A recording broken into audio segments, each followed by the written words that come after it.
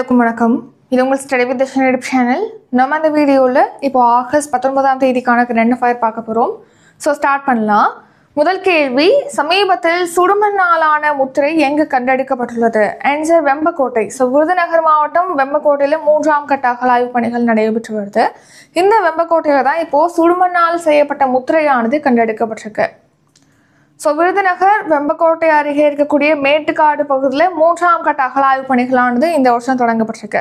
So இந்த அகழாய்வு பணியில் பார்த்தீங்கன்னா ரீசனாக வந்து இங்கே கண்ணாடி மணிகள் கண்டெடுக்கப்பட்டிருக்குன்னு பார்த்துருப்போம் கல்மணிகள் அடுத்து சிகை அலங்காரத்துடன் கூடிய பெண்ணுடைய தலைப்பகுதி கண்டெடுக்கப்பட்டிருக்குன்னு ரீசெண்டாக பார்த்துருப்போம் ஸோ இந்த அடுத்து பார்த்தீங்கன்னா நாயக்கர் கால செம்பு காசு அணிகலன்கள் அப்புறம் சங்கு போன்ற வளையல்கள்லாம் இங்கே கண்டெடுக்கப்பட்டிருக்கு. பல்வேறு பொருட்கள் வந்து கண்டெடுக்கப்பட்டிருக்கு வெம்பக்கோட்டை அகழாய்வில் இப்போ ரீசெண்டாக பார்த்தீங்கன்னா இங்கே வந்து சுடுமண்ணால் செய்யப்பட்ட முத்திரை வந்து கண்டெடுக்கப்பட்டிருக்கு. அடுத்து விளக்கு கல் பந்து கல்லாலான சில்லுவட்டு வந்து இந்த வெம்பக்கோட்டை அகழாய்வில் கண்டெடுக்கப்பட்டிருக்கு. ஸோ இதன் மூலமாக என்ன தெரிவிக்கிறாங்கன்னா நம்மளுடைய முன்னோர்கள் வந்து விலங்குகளை துரத்துறதுக்காக இந்த கல் பந்தை பயன்படுத்தியிருக்காங்க. அதே மாதிரி முத்திரை மூலமா வணிகம் செஞ்சுருக்காங்க. ஏன்னா சுடுமண்ணாலான முத்திரை கண்டெடுக்கப்பட்டிருக்கு இல்லையா? இந்த முத்திரை வந்து வணிகம் முத்திரை பதிவு செஞ்சு அதன் மூலமாக வணிகம் செஞ்சுருக்காங்க அப்படின்னு சொல்லி தெரிவிச்சிருக்காங்க. அதை உறுதிப்படுத்துவதாக இந்த கண்டெடுக்கப்பட்ட பொருட்கள் வந்து இருக்கு அப்படின்னு சொல்லி தெரிவிச்சிருக்காங்க. ரெண்டாவது கேள்வி தெற்குலகின் குரல் மாநாட்டை எந்த நாடு நடத்தியது? Answer option B India. So தெற்குலகின் குரல் மாநாடு பார்த்தீங்கன்னா இப்போ மூன்றாவது பதிப்பு இந்தியா சார்பில் சமீபத்தில் காணொலி வாயிலாக நடைபெற்றிருக்கு. இதில் பேசிய பிரதமர் மோடி அவர்கள் பார்த்தீங்கன்னா இந்த தெற்குலகின் மாநாட்டில் வந்து விரிவான உலகளாவிய வளர்ச்சி ஒப்பந்தம் மேற்கொள்வதாக மேற்கொள்ள வேண்டும் அப்படின்னு சொல்லிட்டு பரிந்துரையை முன் வச்சிருக்காரு இந்த தெற்குலகின் குரல் மாநாட்டில். ஸோ இந்த ஒப்பந்தம் அப்படிங்கிறது ஏழை நாடுகளாக இருக்காங்க இல்லையா? அவங்களுக்கு வந்து கடன் சுமையை ஏற்படுத்தாது அப்படின்னும் தெரிவிச்சிருக்காங்க. ஏன்னா பல்வேறு திட்டங்கள் வந்து ஏழை நாடுகளுக்கு கடன் சுமையை ஏற்படுத்துவதாக இருக்கிறதுனால இந்த ஒப்பந்தம்ங்கிறது அவங்களுக்கு கடன் சுமையை ஏற்படுத்தாது அப்படின்னு சொல்லிட்டு தெரிவிச்சிருக்காங்க. மேலும் பார்த்தீங்கன்னா வர்த்தக ஊக்குவிப்பு நடவடிக்கைகளுக்காக இந்தியா சார்பில் இரண்டு புள்ளி ஐந்து மில்லியன் டாலர்கள் வந்து சிறப்பு நிதி திட்டமானது தொடங்கப்படும் சொல்லி தெரிவிச்சிருக்காங்க பிரதமர் மோடி அவர்கள். அடுத்து திறன் மேம்பாட்டுக்காக தெற்குலக குரல் அந்த அமைப்பில் இருக்கக்கூடிய உறுப்பு நாடுகள் இருக்காங்க இல்லையா? அவங்களுக்கு வந்து திறன் மேம்பாட்டுக்காக வர்த்தக கொள்கை மற்றும் பேச்சுவார்த்தைக்கு பயிற்சி அளிக்கிறது தொடர்பாக பார்த்தீங்கன்னா ஒரு மில்லியன் டாலர்களை இந்தியா வழங்கும் அப்படின்னு சொல்லி தெரிவிச்சிருக்காங்க.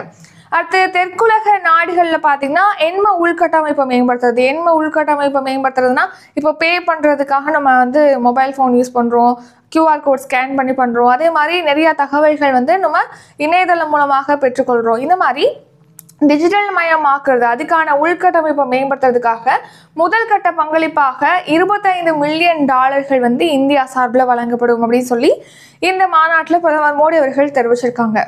அடுத்து மூன்றாவது கேள்வி அத்திக்கடவு அவிநாசி திட்டத்தை தொடங்கி வைத்தவர் யார்? ஆன்சர் மு க. ஸ்டாலின். ஸோ முதலமைச்சர் ஸ்டாலின் அவர்கள் பார்த்தீங்கன்னா இப்போ இந்த அத்திக்கடவு அவிநாசி திட்டத்தை தொடங்கி வச்சிருக்காரு. ஸோ இது ரொம்ப வருஷமாக பெண்டிங்காக இருந்த திட்டம் இப்போ வந்து கடைசியாக தொடங்கப்பட்டிருக்கு. ஸோ ஆயிரத்தி எட்நூற்றி முப்பத்தி நான்காம் ஆண்டே பார்த்தீங்கன்னா நம்ம இந்தியாவுடைய நீர்ப்பாசன திட்டங்களுடைய தந்தை அப்படின்னு அழைக்கப்படக்கூடிய சர் ஆர்த்தர் காட்டன் என்பவரால் தான் இந்த திட்டமானது முன்மொழியப்பட்டிருக்கு. ஸோ அதை எடுத்து பார்த்தீங்கன்னா காமராஜர் முதலமைச்சராக இருந்தபோது அப்போவுமே நிறைய மக்கள் வந்து போராடி இந்த திட்டத்தை செயல்படுத்தணும்னு சொல்லியிருக்காங்க. அதுக்கப்புறம் ஜெயலலிதா அவர்கள் முதலமைச்சராக இருந்தபோது தான் இந்த திட்டம் வந்து தொடங்கப்பட்டது அப்படின்னு சொல்லி தெரிவிச்சிருக்காங்க. இப்போ அது முடிக்கப்பட்டிருக்கு. ஸோ இந்த திட்டம் பார்த்தீங்கன்னா ஆயிரத்தி தொள்ளாயிரத்தி பதினாறு ஆயிரத்தி தொள்ளாயிரத்தி பதினாறு கோடி மதிப்பீட்டில் வந்து இந்த திட்டமானது முடிக்கப்பட்டிருக்கு இந்த திட்ட பணிகளானது. இது என்ன திட்டம் அப்படின்னு கேட்டிங்கன்னா மேற்கு தொடர்ச்சி மலைப்பகுதிகளில் தான் மலை அருகே தான் இந்த ஈரோடு திருப்பூர் கோவை ஆகிய பகுதிகள்லாம் இருக்குது இருந்தாலும் இங்கே பார்த்தீங்கன்னா அதிகமாக இந்த மாவட்டங்கள்லாம் வந்து மிகவும் வறட்சியாகவே தான் இருக்குது ஸோ அதனால இந்த மழை பெய்யும் போது பார்த்தீங்கன்னா இந்த பவானி ஆற்றில் இருக்கக்கூடிய மழைக்காலங்களில் பார்த்தீங்கன்னா அதிகமான நீர் வந்து ஏற்படுது. ஆனால் அது வந்து பயன்படுத்த முடியாமல் வேஸ்ட்டாக தான் போகுது. ஸோ அப்படி அதிகமாக வரக்கூடிய உபரி நீரை வந்து இந்த ஈரோடு திருப்பூர் கோவை மாவட்டங்களில் இருக்கக்கூடிய வறண்ட பகுதிகளில் இருக்கக்கூடிய குளங்கள் குட்டைகள் ஏரிகளில் கொண்டு போய் சேர்த்து சேர்த்து சேர்ப்பதற்காக தான் இந்த திட்டத்தை தொடங்கியிருக்காங்க. ஸோ இதன் மூலமாக பார்த்தீங்கன்னா அந்த நான்கு மாவட்டங்கள் சொன்னோம் இல்லையா சார் ஈரோடு திருப்பூர் கோவை ஆகிய மூன்று மாவட்டங்கள் சொன்னோம் இல்லையா? அங்கே இருக்கக்கூடிய ஆயிரத்தி நாற்பத்தி ஐந்து குளங்கள் குட்டைகளில் நீர் நிரப்பி அதன் மூலமாக நிலத்தடி நீர்மட்டத்தை அதிகப்படுத்தி விவசாயம் குடிநீர் உள்ளிட்ட தேவைகளுக்காக அந்த நீர் பயன்படுத்துவதை நோக்கமாக கொண்டுதான் இந்த அத்திக்கடவு அவிநாசி அப்படிங்கிற திட்டமானது இப்போ தொடங்கப்பட்டிருக்கு. ஸோ இந்த திட்டத்தின் மூலமாக பார்த்தீங்கன்னா இப்போ ஆறு இடங்களில் நீரேற்று நிலையங்களானது அமைக்கப்பட்டிருக்கு அது எங்கெங்க அப்படின்னா பவானி நல்ல கவுண்டன் பாளையம் அடுத்து திருவாச்சி போலநாயக்கன் பாளையம் எம்மாம்பூண்டி அன்னூர் ஆகிய ஆறு இடங்களில் பார்த்தீங்கன்னா இதுக்காக நீரேற்று நிலையங்களானது அமைக்கப்பட்டிருக்கு. ஸோ பார்த்தீங்கன்னா பவானி காளிங்கராயன் அணைக்கட்டோட கீழ்ப்புறத்தில் பார்த்தீங்கன்னா ஆண்டுக்கு ஒன்று புள்ளி ஐம்பது டிஎம்சி உபரி நீர் வந்து நீரேற்றம் செய்யப்பட்டு வினாடிக்கு இரநூத்தி ஐம்பது அடி வீதம் எழுபது நாட்களுக்கு ஆயிரத்தி அறுபத்தி ஐந்து கிலோமீட்டர் தொலைவில் பூவிக்கு புவிக்கு அடியில் புதைக்கப்பட்ட ராட்சத பாத பாலங்கள் மூலமாக அந்த நீர் கொண்டு போய் சேர்க்கப்படும் அப்படின்னு சொல்லி தெரிவிச்சிருக்காங்க. ஸோ இது மொத்த மொத்தமாக திட்ட மதிப்பீடு என்ன அப்படின்னா ஆயிரத்தி தொள்ளாயிரத்தி பதினாறு கோடி. அடுத்த நான்காவது கேள்வி எஸ்எஸ்எல்வி ராக்கெட் எத்தனை கிலோ எடை வரையிலான எடையுள்ள செயற்கைக்கோளை கொண்டு செல்லும் வகையில் வடிவமைக்கப்பட்டுள்ளது? ஆன்சர் ஆப்ஷன் சி ஐநூறு கிலோ. ஸோ பார்த்தீங்கன்னா இப்போ நம்ம ஜிஎஸ்எல்வி ராக்கெட் பயன்படுத்துகிறோம் பிஎஸ்எல்வி ராக்கெட் இருக்குது இப்போது அந்த வகையில் எஸ்எஸ்எல்வி இருக்குது எஸ்எஸ்எல்வி அப்படிங்கிறது குறைந்த எடை கொண்ட செயற்கைக்கோள்களை விண்ணில் செலுத்துவதற்காக இஸ்ரோ உருவாக்கியதான் எஸ்எஸ்எல்வி ஸோ இது பார்த்தீங்கன்னா ஐந்து கிலோ வரை இருக்கக்கூடிய குறைந்த எடையிலான செயற்கைக்கோள்களை இது கொண்டு செல்லும் விண்ணில்.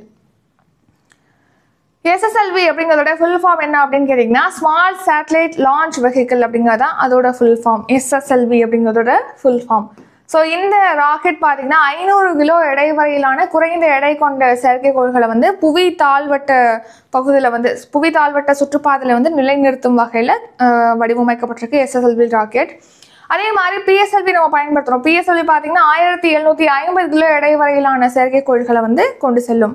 அதே மாதிரி ஜிஎஸ்எல்வி அப்படிங்கிறது பார்த்தீங்கன்னா நான்காயிரம் கிலோ எடை வரையிலான செயற்கைக்கோள்களை கொண்டு செல்வதற்காக பயன்படுத்தப்படுது. குறைந்த எடையிலான செயற்கைக்கோள்களை கொண்டு செல்றதுக்காக தான் இந்த எஸ்எஸ்எல்வி வடிவமைக்கப்பட்டிருக்கு. ஸோ இந்த எஸ்எஸ்எல்வி ராக்கெட்டுடைய அதிகபட்ச எடை எவ்வளோ அப்படின்னு கேட்டிங்கன்னா நூற்றி இருபது டன் எடை கொண்டது அப்படின்னு சொல்லி தெரிவிச்சிருக்காங்க. இப்போ இந்த எஸ்எஸ்எல்வி டி த்ரீ ராக்கெட் மூலமாக பார்த்தீங்கன்னா இப்போ புவி கண்காணிப்பு செயற்கைக்கோளான இஓஎஸ் ஜீரோ எயிட் செயற்கைக்கோள் வந்து ஆகஸ்ட் பதினாறாம் தேதி வெற்றிகரமாக விண்ணில் செலுத்தப்பட்டிருக்கு அப்படின்னு சொல்லி தெரிவிச்சிருக்காங்க. இந்த இஓஎஸ் ஜீரோ எயிட் அப்படிங்கிற புவி கண்காணிப்பு செயற்கைக்கோள் எவ்வளோ எடை கொண்டது அப்படின்னா நூற்றி எழுபத்தி ஆறு கிலோ எடை கொண்டது. இது பார்த்தீங்கன்னா பூமியிலேருந்து நானூற்றி அறுபத்தி சாரி நானூற்றி எழுபத்தி ஐந்து கிலோமீட்டர் தொலைவில் இருக்கக்கூடிய புவி தாழ்வட்ட பாதையில் வந்து வெற்றிகரமாக நிலைநிறுத்தப்பட்டிருக்கு அப்படின்னு சொல்லி தெரிவிச்சிருக்காங்க.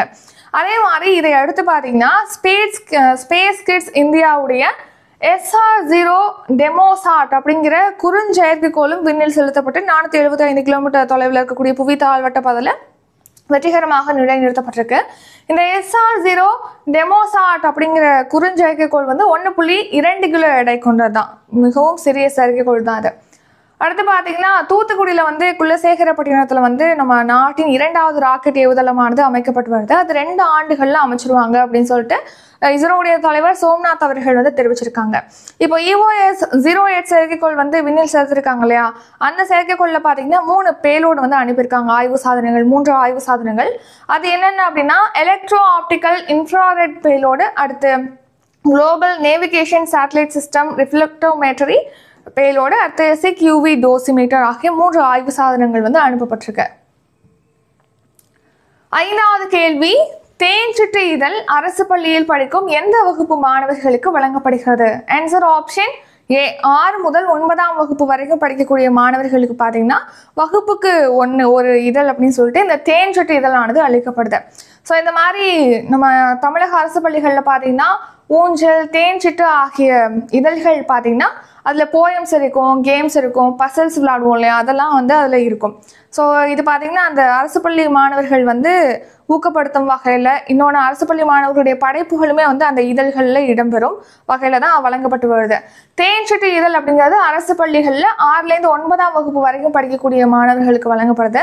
கனவு ஆசிரியர் அப்படிங்கிற மாத இதழ் பார்த்தீங்கன்னா ஆசிரியர்களுக்கு வழங்கப்படுது.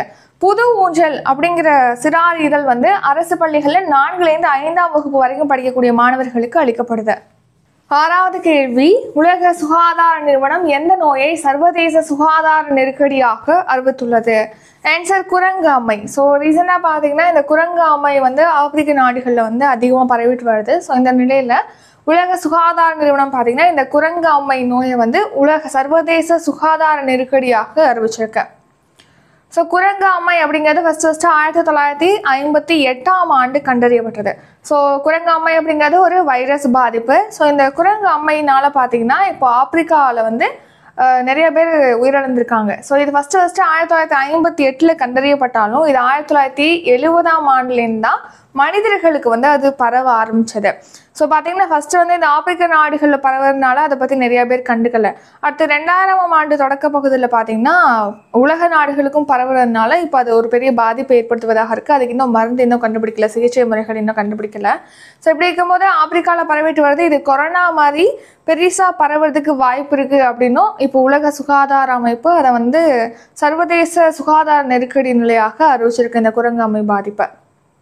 இந்த குரங்காமை நோயால் பாதிக்கப்பட்டவங்களுக்கு என்னென்ன அறிகுறிகள் ஏற்படும் தென்படும் அப்படின்னா காய்ச்சல் ஏற்படும்.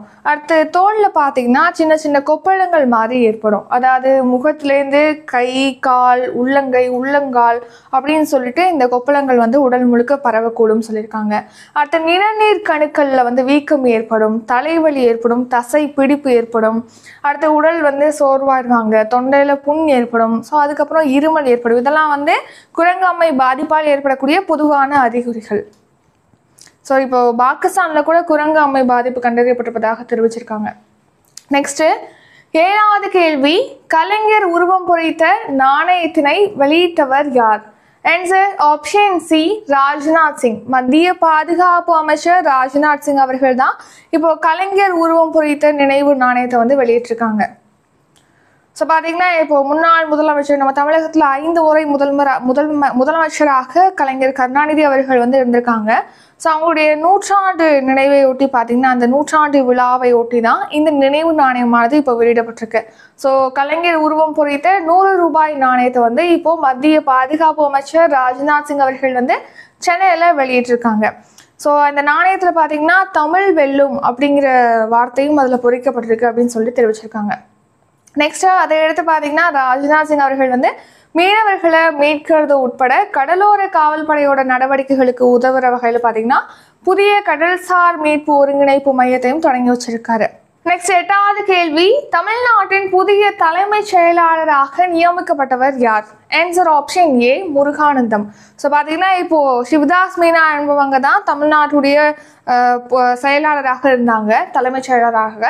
இப்போ பார்த்தீங்கன்னா முருகானந்தம் அவர்கள் வந்து நியமிக்கப்பட்டிருக்காங்க. இந்த சிவதாஸ் மீனா என்பவங்க இப்போ ரியல் ரியல் எஸ்டேட் ஒழுங்குமுறை ஆணையத்தோட தலைவராக அவங்க பணியிட மாற்றம் செய்யப்பட்டிருக்காங்க. ஸோ அதை எடுத்து இப்போது முருகானந்தம் என்பவங்க தான் தமிழ்நாட்டுடைய புதிய தலைமை செயலாளராக நியமிக்கப்பட்டிருக்காங்க. இவங்க தமிழ்நாட்டுடைய ஐம்பதாவது தலைமை செயலாளராக நியமிக்கப்பட்டிருக்காங்க. இந்த முருகானந்தம் அவர்களை பற்றி பார்த்தோம்னா இவர் ஆயிரத்தி தொள்ளாயிரத்தி தொண்ணூற்றி ஓராம் ஆண்டு பிரிவை சேர்ந்த ஐஏஎஸ் அதிகாரி இவர் சென்னையை சேர்ந்தவராம். மேலும் இவர் பார்த்தீங்கன்னா இப்போ முதலமைச்சருடைய தனி செயலாளராக பணியாற்றிட்டு வராரு. அதை அடுத்து இப்போ தலைமை செயலாளராக நியமிக்கப்பட்டிருக்காரு. ஒன்பதாவது கேள்வி ரதி ரேர் சதி என்ற திட்டத்தை எந்த மாநிலம் அறிமுகப்படுத்தியுள்ளது? ஆன்சர் ஆப்ஷன் ஏ மேற்கு வங்க மாநிலம். ஸோ பார்த்தீங்கன்னா மேற்கு வங்க மாநிலத்தில் கொல்கத்தாவில் வந்து பெண் மருத்துவர் பார்த்தீங்கன்னா பாலியல் பலாத்காரத்துக்கு உட் உட்படுத்தப்பட்டு கொலை செய்யப்பட்டிருக்காங்க. ஸோ அதையடுத்து அங்கே பெரும் போராட்டமே வெடிச்சிட்டு வருது. ஸோ இந்த நிலையில் பார்த்தீங்கன்னா பெண்களுடைய பாதுகாப்புக்காக இந்த ரதி ரே சதி அப்படிங்கிற திட்டத்தை வந்து மேற்கு வங்க மாநில அரசு தொடங்கியிருக்கு. மேற்கு வங்க மாநிலத்துடைய முதலமைச்சராக இருப்பவங்க யார் அப்படின்னா மம்தா பானர்ஜி. ஸோ ரதி ரே சதி அப்படிங்கிற பேரில் பார்த்தீங்கன்னா இப்போ கொல்கத்தாவில் நடந்த பாலியல் விவகாரம் அதுக்கு அடுத்து தான் இதை வந்து ஸ்டார்ட் பண்ணியிருக்காங்க ஏன்னா இப்போது நைட் டியூட்டிலாம் பார்க்குறாங்களே நைட் ஷிஃப்ட்லாம் பார்க்குறாங்களே அப்போ மருத்துவர்கள் பெண்கள். ஸோ அவங்களுடைய பாதுகாப்புக்காக தான் இதை வந்து தொடங்கியிருக்காங்க. ஸோ இதன் இந்த திட்டம் பார்த்தீங்கன்னா பாதுகாக்கப்பட்ட கழிவறைகள் அமைக்கப்படும். இந்த திட்டத்தின் கீழ் சிசிடிவி கேமரா இணைப்புகள் எல்லா இடத்துலையும் வைக்கப்படும். அடுத்து கூடுதல் பணியாளர்கள் வந்து நியமிக்கப்படுவாங்க. இதெல்லாம் வந்து தெரிவிச்சிருக்காங்க. மேலும் அதுக்கான ஒரு சிறப்பான ஒரு ஆப்பும் அறிமுகப்படுத்தப்படும். அதை வந்து பெண்கள் அவங்க மொபைல் ஃபோனில் டவுன்லோட் பண்ணி இன்ஸ்டால் பண்ணி வச்சுக்கணும். ஸோ அது வந்து காவல் நிலையங்களோட அந்த ஆப் வந்து கனெக்ட் ஆகிருக்கும் அப்படின்னு சொல்லிட்டு தெரிவிச்சிருக்காங்க. நெக்ஸ்ட் பத்தாவது கேள்வி உலக புகைப்பட தினம் எந்த நாளில் அனுசரிக்கப்படுகிறது? ஆன்சர் ஆகஸ்ட் பத்தொன்பது. ஸோ ஒவ்வொரு வருஷம் பார்த்தீங்கன்னா ஆகஸ்ட் பத்தொன்பதாம் தேதி இந்த உலக புகைப்பட தினமானது அனுசரிக்கப்படுகிறது. ஸோ வேர்ல்டு ஃபோட்டோகிராஃபி டே உலக புகைப்பட தினம். இந்த வருஷம் இந்த தினத்திற்கான தீம் என்ன அப்படின்னா அண்ட் என்டையர் டே அப்படிங்கிறதா இந்த வருஷம் இந்த உலக புகைப்பட தினத்திற்கான கருப்பொருள். ஸோ பார்த்தீங்கன்னா இப்போது நம்ம சந்தோஷமாக இருக்கோம் சுகமாக இருக்கோம் நம்மளுடைய உணர்வுகள் நம்மளுடைய சந்தோஷங்களை வெளிப்படுத்துற வகையில் அதை வந்து புகைப்படங்களாக அதை எடுத்து வைக்கணும் அப்படிங்கிறத ஊக்குவிக்கும் வகையில் தான் இந்த உலக புகைப்பட தினமானது ஒவ்வொரு வருஷமும் அனுசரிக்கப்படுது. ஸோ லாஸ்ட்டாக ரீசெண்டாக பார்த்தோம்னா ரெண்டாயிரத்தி இருபத்தி நான்காம் ஆண்டுக்கான உலக பத்திரிகை புகைப்படத்திற்கான விருது பார்த்தீங்கன்னா ராய்டர்ஸ் அப்படிங்கிற செய்தி நிறுவனத்தில் ஒர்க் பண்ணக்கூடிய புகைப்பட கலைஞர் முகமது சலேம் என்பவருக்கு வந்து அறிவிக்கப்பட்டிருக்கு. இது லாஸ்ட்டாக பார்த்த recent current affairs next current affairs revision பார்க்கலாம். ரிவிஷன் பார்க்கறதுக்கு முன்னாடி ஆகஸ்ட் இருபத்தி நான்காம் தேதி group two and two ஏக்காக live class current affairs live class வந்து ஸ்டார்ட் பண்ணுறோம் இது வந்து பேட்ச் டூ ஏற்கனவே பேட்ச் ஒன் போயிட்டுருக்கு. இப்போ ஸ்டார்ட் பண்ணுறது பேட்ச் டூ ஸோ இதில் last one year current affairs பார்த்தீங்கன்னா உங்களுக்கு லைவ் லைவ் கிளாஸில் டாபிக் வைஸாக பார்ப்போம். Central scheme Tamil Nadu scheme summits இந்த மாதிரி அவார்ட்ஸ் அப்பாயின்மெண்ட்ஸ் இந்த மாதிரி முக்கியமான டாபிக்ஸ் வந்து பார்ப்போம். ஸோ அதில் ஜாயின் பண்ணோம் அப்படின்னா அதுக்கு வந்து fees seven hundred so class with live class with நோட்ஸோட நீங்கள் ஜாயின் பண்ணிக்கலாம் செவன் ஹண்ட்ரட் ஃபீஸு டிஸ்கிரிப்ஷனில் வந்து காண்டாக்ட் நம்பர் இருக்குது GPay PhonePe Paytm YouPay number கொடுத்துருக்கோம். அந்த நம்பருக்கு பே பண்ணிட்டு காண்டாக்ட் நம்பர் வாட்ஸ்அப் நம்பருக்கு ஸ்க்ரீன்ஷாட் எடுத்து அனுப்புனீங்கன்னா உங்களை அந்த பேச்சில் ஆட் பண்ணிடுவோம். வேறு ஏதாவது டவுட் இருக்குது ஷெடியூல் வேணும் அப்படின்னா வாட்ஸ்அப்பில் டெக்ஸ்ட் பண்ணி தாராளமாக கேட்கலாம். அப்கமிங் பேட்ச் பற்றிய டீட்டெயிலும் வாட்ஸ்அப்பில் அதாவது டிஸ்கிரிப்ஷனில் கொடுத்துருக்கோம். செக் பண்ணிக்கோங்க. ஸோ ஸ்டார்ட் பண்ணலாம். முதல் கேள்வி சமீபத்தில் சுடுமண்ணாலான முத்திரை எங்கு கண்டெடுக்கப்பட்டுள்ளது? ஆன்சர் வெம்பக்கோட்டை. இரண்டாவது கேள்வி தெற்குலகின் குரல் மாநாட்டை எந்த நாடு நடத்தியது? Answer India. மூன்றாவது கேள்வி அத்திக்கடவு அவினாஷி திட்டத்தை தொடங்கி வைத்தவர் யார்? ஆன்சர் மு க. ஸ்டாலின்.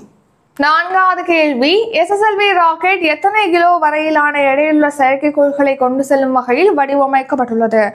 ஆன்சர் ஐநூறு கிலோ. ஐந்தாவது கேள்வி தேன் சிட்டு இதழ் அரசு பள்ளியில் படிக்கும் எந்த வகுப்பு மாணவர்களுக்கு வழங்கப்படுகிறது? ஆன்சர் ஆப்ஷன் ஏ ஆறு முதல் ஒன்பதாம் வகுப்பு. ஆறாவது கேள்வி உலக சுகாதார நிறுவனம் எந்த நோயை சர்வதேச சுகாதார நெருக்கடியாக அறிவித்துள்ளது? ஆன்சர் குரங்கம்மை. ஏழாவது கேள்வி கலைஞர் உருவம் பொறித்த நாணயத்தினை வெளியிட்டவர் யார்? ஆன்சர் ராஜ்நாத் சிங். எட்டாவது கேள்வி தமிழ்நாட்டின் புதிய தலைமைச் செயலாளராக நியமிக்கப்பட்டவர் யார்? ஆன்சர் முருகானந்தம். ஒன்பதாவது கேள்வி ரதி ரே சதி என்ற திட்டத்தை எந்த மாநிலம் அறிமுகப்படுத்தி உள்ளது ஆன்சர் மேற்கு வங்க மாநிலம். பத்தாவது கேள்வி உலக புகைப்பட தினம் எந்த நாளில் அனுசரிக்கப்படுகிறது? ஆன்சர் ஆகஸ்ட் பத்தொன்பதாம் தேதி. இத்துடன் இன்றைக்கான கரண்ட் அஃபேர்ஸ் வீடியோ நிறைவடைகிறது. இந்த வீடியோ உங்களுக்கு பிடிச்சிருந்தா லைக் பண்ணுங்க ஷேர் பண்ணுங்க. நம்ம சேனலில் நீங்கள் இன்னும் சப்ஸ்கிரைப் பண்ணலன்னா மறக்காம சப்ஸ்கிரைப் பண்ணிக்கோங்க. நன்றி வணக்கம்.